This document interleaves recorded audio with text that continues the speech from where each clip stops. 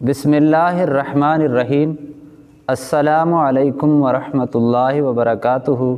मुअज़्ज़िज़ ख़वातीन हज़रात, आज मैं आपको अल्लाह ताला के नाम अल-हाफ़िज़ु जल्ल जलालुहु का वजीफ़ा बताऊँगा। अल-हाफ़िज़ु की माना है पस्त कर देने वाला। जो शख्स रोज़ाना 500 मरतबा या हाफिज़ पढ़ा करेगा, अल्लाह ताला उसकी हाजतें पूरी फरमाएँगे।